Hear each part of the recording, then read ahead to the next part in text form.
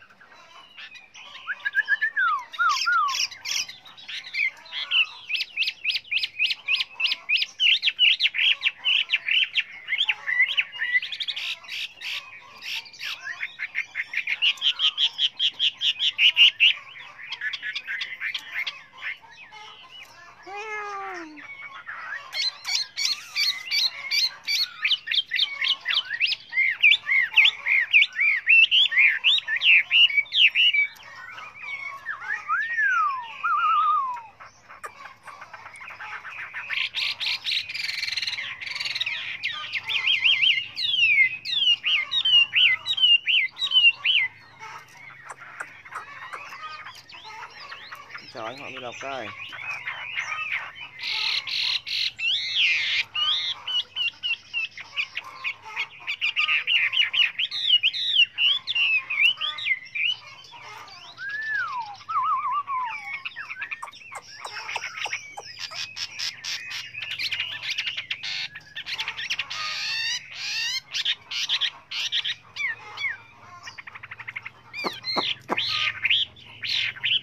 hết chưa?